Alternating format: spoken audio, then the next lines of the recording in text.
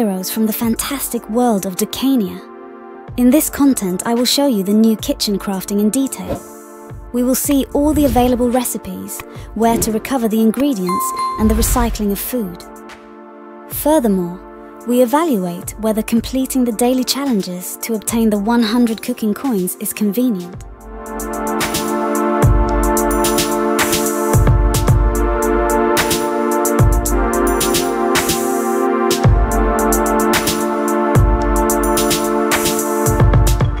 First, you need to know that to complete the daily kitchen challenges, we need to buy kitchen keys.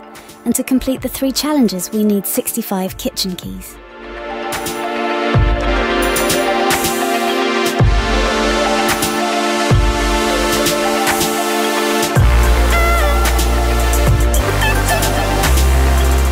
In the Hagastove Caves, we can recover the ingredients, as you can see from the map.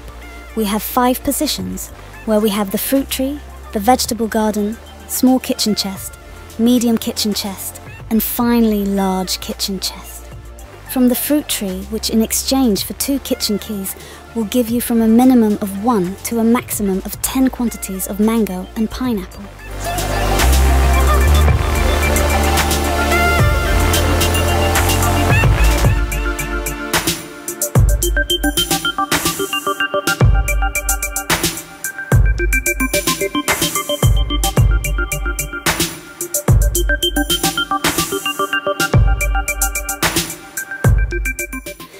Garden, in exchange for one kitchen key, we get from a minimum of 1 to a maximum of 10 quantities of tomatoes and carrots.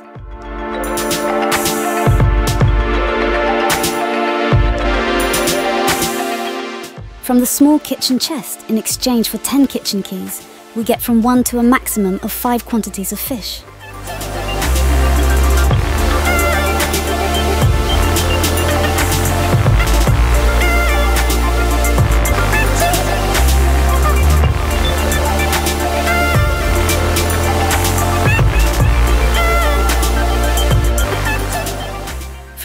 Medium kitchen chest, in exchange for 50 kitchen keys, we get from 10 to a maximum of 13 quantities of beef.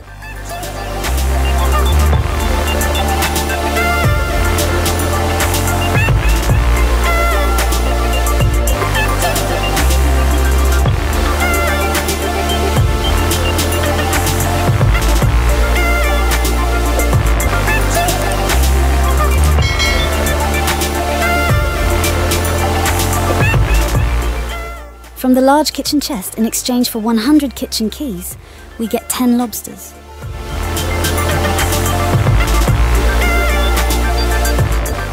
We return to the area dedicated to kitchen crafting in Kingshill. And from the NPC Dante Decidis, we can obtain all the recipes by exchanging them with the kitchen coins obtained by completing all the daily challenges.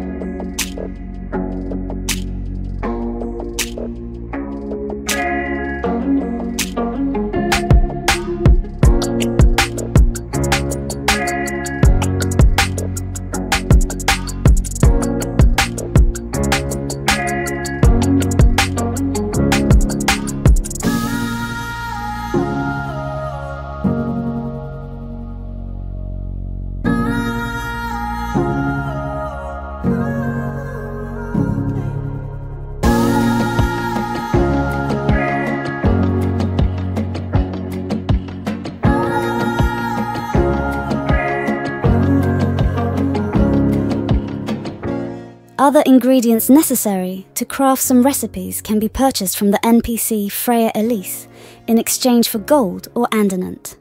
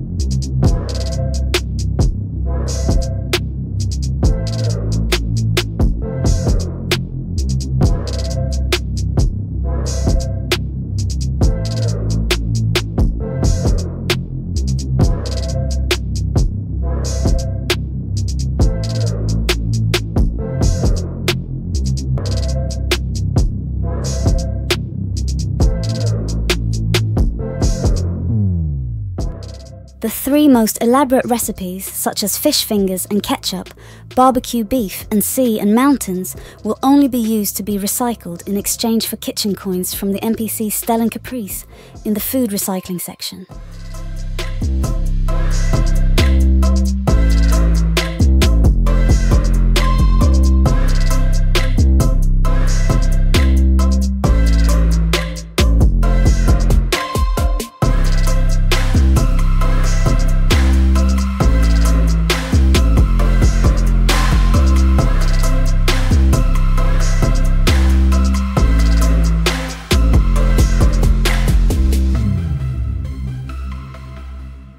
Well, dear heroes, before saying goodbye, I'll try to answer the question.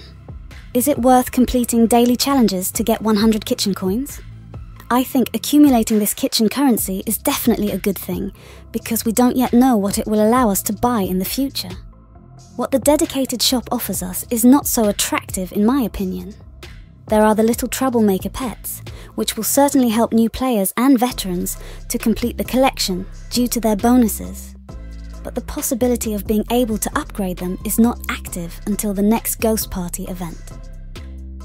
But the most poorly thought out question for me is that in any case to collect 100 kitchen coins every day, you have to spend 6k in Andermant to purchase the 65 kitchen keys necessary to complete the three dedicated daily challenges. This is just my opinion, and I don't want to influence anyone, and I invite you to share your thoughts about this kitchen crafting system in the comments. If you like the proposed content, let me know with a like, and if you want to support the channel, subscribe and tick the bell to stay connected and not miss future content. thanks for watching, I wish you peace and serenity, bye bye.